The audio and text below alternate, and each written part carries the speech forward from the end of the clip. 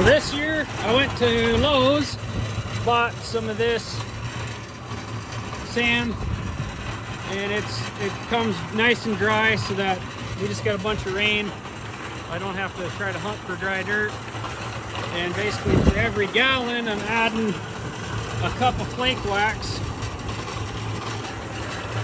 And I got a burner on. So when this gets warm, I'll add the wax dump it on that side, raking it out, making wax dirt.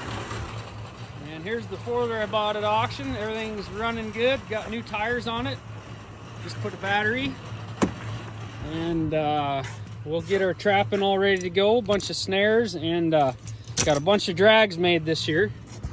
So pretty excited for coyote season in December. And uh, it's middle October, so getting getting everything ready before it gets cold. Pretty exciting.